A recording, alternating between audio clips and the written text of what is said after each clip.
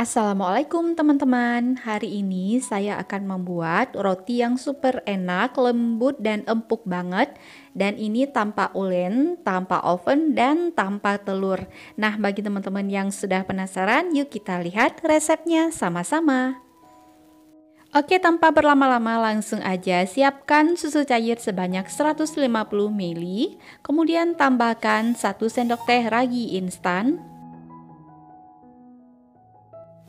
Tambahkan juga 3 sendok makan gula pasir. Kemudian ini kita aduk dulu hingga tercampur rata. Kemudian kita tutup dan kita diamkan hingga berbuih. Sementara itu siapkan sebuah baskom atau wadah, kemudian masukkan tepung terigu sebanyak 180 gram, lalu tambahkan setengah sendok teh garam. Kemudian ini campuran susunya sudah berbuih ya teman-teman, itu tandanya raginya masih aktif dan langsung aja kita masukkan ke dalam tepung. Lalu ini kita aduk hingga tercampur rata. Di sini saya pakai spatula ya teman-teman karena ini adonannya agak lengket karena ini adonan tanpa ulen ya.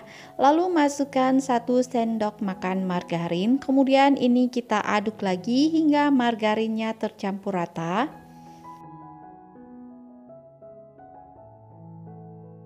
Nah, jika adonannya sudah tercampur rata, kemudian ini kita tutup dengan kain bersih atau kertas wrap ya. Kemudian kita proofing atau diamkan selama lebih kurang 40 menit atau hingga mengembang. Nah, ini setelah 40 menit atau tadi hampir satu jam ya, teman-teman.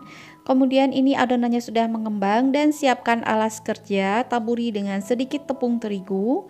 Nah ini kita kempeskan dulu. Nah jika terasa lengket di tangan, teman-teman bisa olesi tangan dengan sedikit minyak goreng ya teman-teman atau tepung terigu. Lalu kita pindahkan adonannya ke alas kerja. Nah ini tangan saya sudah saya olesi dengan sedikit minyak goreng. Kemudian kita taburkan dengan tepung terigu dan ini saya mau bagi adonan menjadi dua bagian ya teman-teman. Satu bagian kita sisihkan dulu.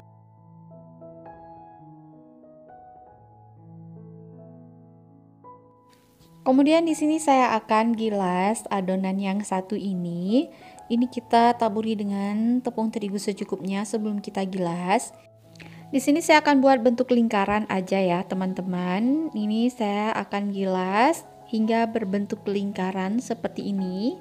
Nah, jika sudah berbentuk lingkaran seperti ini, ini akan saya taburi dengan tepung terigu sedikit lagi agar tidak lengket. Kemudian di sini saya akan potong adonan seperti uh, memotong pizza ya, teman-teman.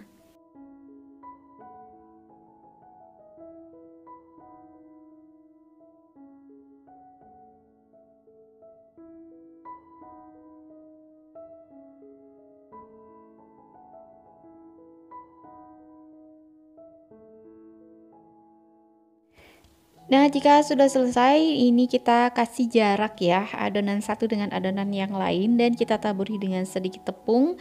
Kemudian langsung kita tutup dan kita proofing lagi selama 20 menit.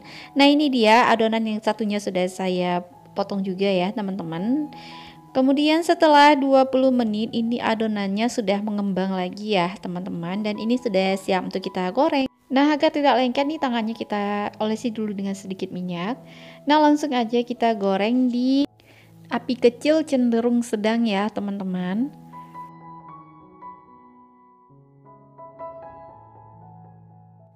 Dan jangan lupa dibolak-balik juga agar tidak gosong.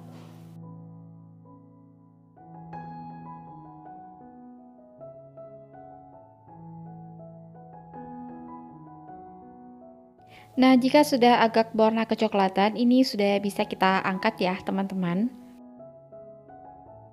Nah, ini dia teman-teman roti gorengnya sudah selesai dan sekarang saya mau kasih isian coklat ya.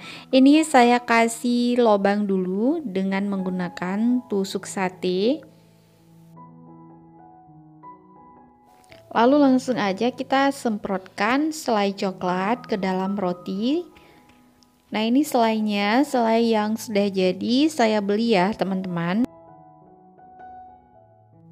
Nah kira-kira seperti ini ya teman-teman. Kemudian kita ulangi cara yang sama hingga rotinya habis.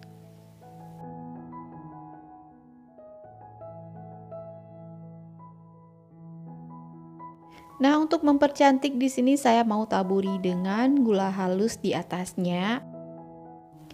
Nah, ini dia teman-teman roti goreng isi coklat sudah jadi dan ini enak banget ya teman-teman. Teksturnya lembut, empuk, Apalagi diisi dengan selai coklat seperti ini, rasanya mantap banget ya teman-teman.